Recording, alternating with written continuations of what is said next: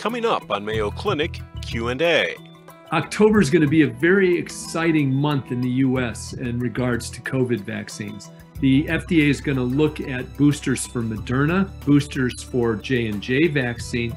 They're going to look at extending that EUA for Pfizer vaccine down to 5 years of age, so 5 to 11 year olds. How soon they'll start immunizing kids after that EUA approval would probably be within a couple of weeks.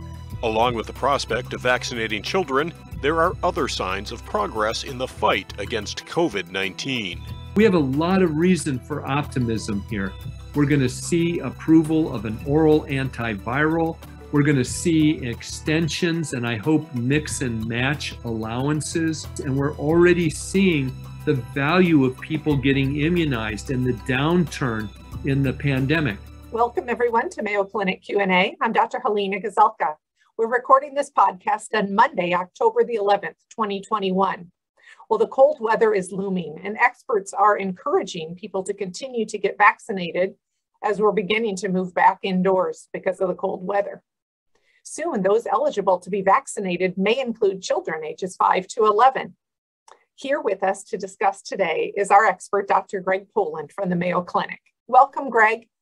Good morning. Good morning. Happy Monday.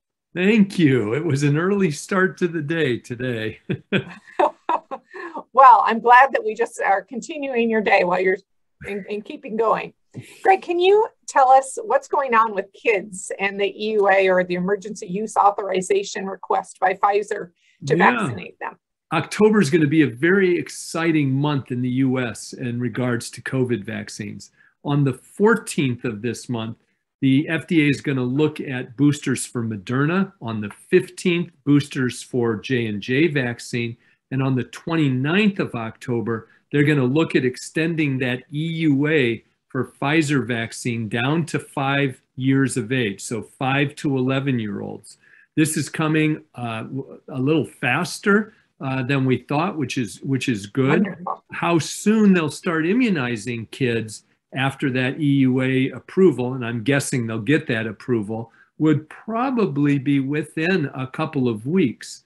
Notably, the, the recommendation is shaping up to look like for 5 to 11 year olds, they'll get a 10 microgram dose rather than a 30 microgram dose. So they'll get a third of the dose that people 12 and older get. Well, that is exciting news, Greg. I was thinking about before how you told us how much paperwork goes into these oh, meetings yeah. uh, where you review all of this data. And I thought, well, that's a lot for people to read in a month. It really is. And, you know, maybe not too surprising, these younger kids getting uh, a third of the dose just have superior immune responses. They, oh, their, their, their young, healthy immune systems really uh, rev up in response to the vaccine. So they'll do very well, I think. Oh, that's great. Such good news since uh, we are more indoors at this time of year. Indeed. And, you know, with school starting, we've certainly seen uh, surges in, in different areas. We're concerned, you know, about this, this rough pattern that has occurred since the start of the pandemic of every two, three months a surge, then it lets up a while, everybody relaxes, and that sparks another surge. And school is one of those, particularly with the Delta variant. So I'm really, really happy that we're going to be able to protect kids. Greg, what do we know about the demand for booster shots? Are those who are eligible to get them getting them? Yeah, I mean, I think there's been uh, a lot of movement in that direction. Uh, where we where we're not seeing movement, and that's really the concerning part, is unlike other nations, we've got a really large segment of people who are hesitant or resistant to getting the vaccine. So, on the one hand, you've got a large uh, percent of America that's now moving to their to their booster dose, uh, kids that will get their primary series, and then this group of people that will continue to periodically have infection and drive uh, these these surges and these outbreaks, and it's uh, it's an almost intractable problem unless unless you make mandates. Greg, one of the most interesting things that I think I've heard is going on in research is this thought about mixing different COVID vaccines. Now, currently, if you had Pfizer, you get another Pfizer. If you can get a booster, you get a Pfizer.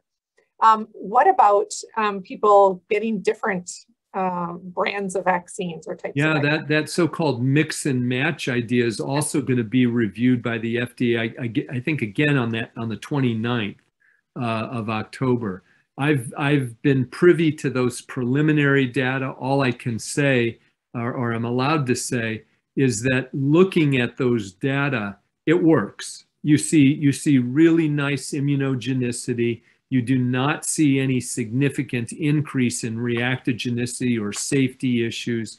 So I suspect it will be approved. That will be very helpful for travelers, for clinicians. As you know, you and I are faced all the time by patients, and often because of where we work, patients that have come from other countries using vaccines that, for example, maybe AstraZeneca vaccine that mm-hmm. we don't have here in the US. And, and I think it will be very, it's a very practical thing to be able to say you can mix and match these vaccines. Yeah, that's, that's really exciting news. Yeah. Convenient, I would think. Indeed. Um, another study I wanted to ask you about, Greg, was in the New England Journal of Medicine, and they talked about how immunity in men may wane faster than it does in women after Pfizer vaccine. Tell me I, about that. I knew you were going to bring this up, Helene. yeah, I think you're. I you're couldn't pass up an opportunity, Greg. okay. I think you're uh, referring to the uh, Israeli healthcare worker study that was just published in the New England Journal, as you mentioned. And, and it is interesting. You're exactly right. What they showed is that in men, antibody decayed or waned faster, significantly faster than in women. It also waned faster in people over the age of 65 and in people who were immunocompromised. None of that is a surprise, I, I have to admit to you, Halena. I've studied vaccines for 40 years, and in every vaccine that I have studied, women have superior immune responses to men. They just do. Um, we don't know precisely why that is. Um, I know you and my wife have offered an explanation, but it's not a scientific one. So we'll Sometimes leave that. no explanation is required, Greg. but you know, I think that the point is that uh, as, as, as I have written about uh, for for uh, almost two decades now, in time we're going to move toward a more personalized or individualized vaccinology approach it may well mean, for example, that men need a booster sooner than women, or maybe it's at least older men need a booster uh, before uh, older women do. Those are the kinds of things that having data like this would enable. It also fits with the clinical picture that we see. Men have uh, suffered more in this pandemic than women in terms of hospitalization, deaths, oh, etc. Really? So you know it, it, it does fit with with the clinical data, and then it's incumbent on us to design policy around that. What's the status of the Merck antiviral pill?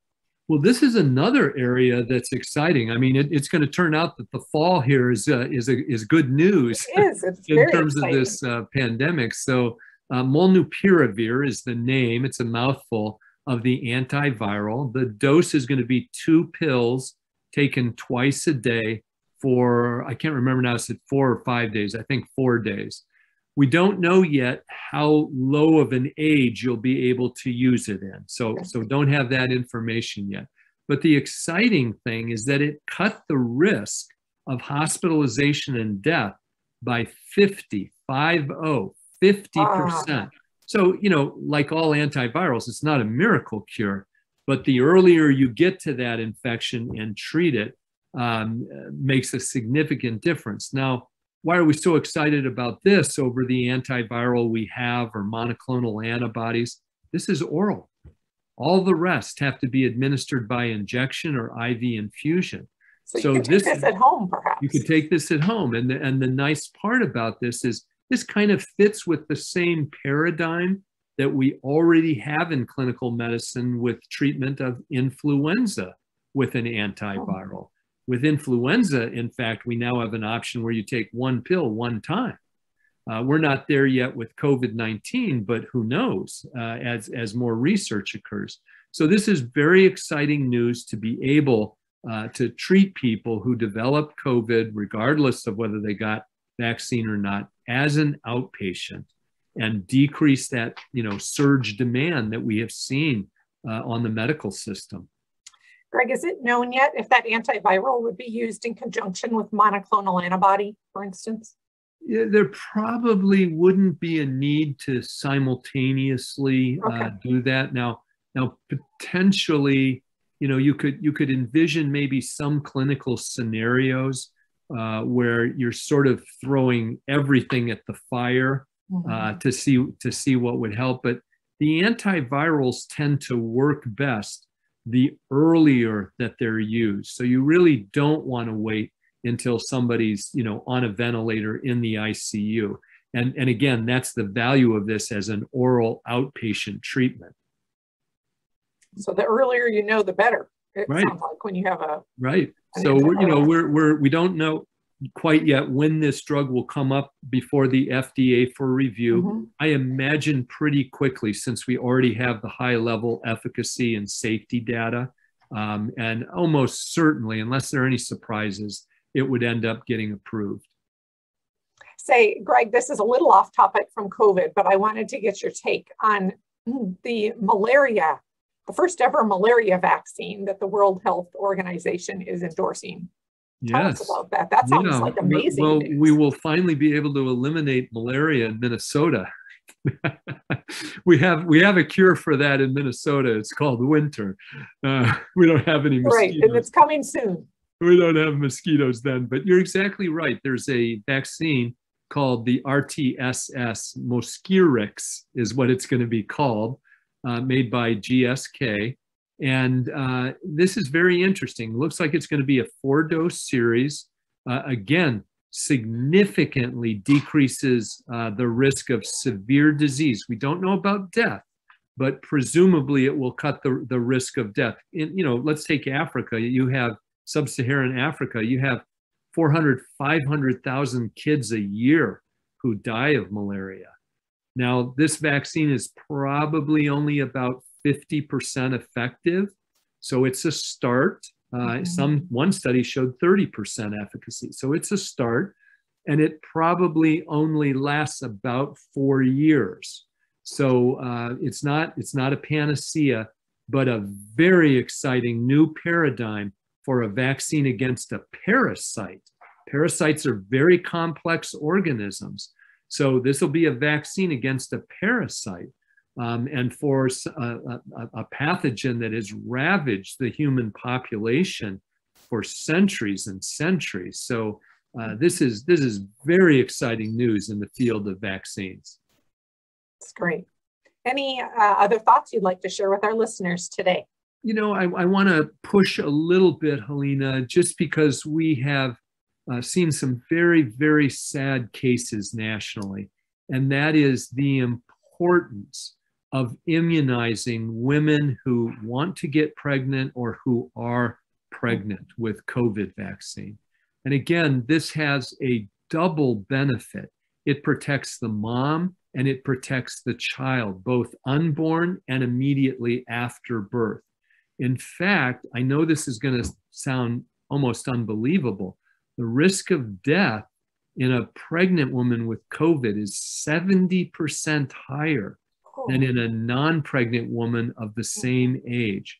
And uh, you know, by the way, we see similar kinds of statistics for pregnant women with who develop influenza. So particularly that second to third trimester, it's really important that a woman be updated with pertussis vaccine, COVID vaccine, and influenza vaccine. So it's also a reminder that in the midst of all the COVID information, there are important things you can do to protect your well being, your health, and your life above and beyond COVID. And that's pertussis, shingles, pneumonia, influenza vaccines. Wow, I, I had no idea, Greg, the, the risk of flu was high, so high. Yeah. Yeah, in, pregnant. in pregnant women. And, uh, you know, we, we talked about a, a twin demic uh, last year, and I think I've mentioned before. Now the concern is uh, over a tri or even quad demic. Uh, what has happened is last year we saw almost no influenza. Right, I right. personally did not see a single flu case. That has never happened in my career. Never. But we were wearing masks, we were mm-hmm. distanced at that time.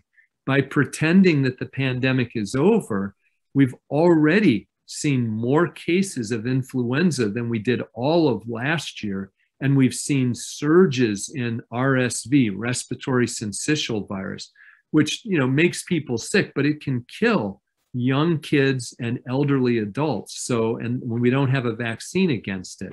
So we really do want to urge people be careful here.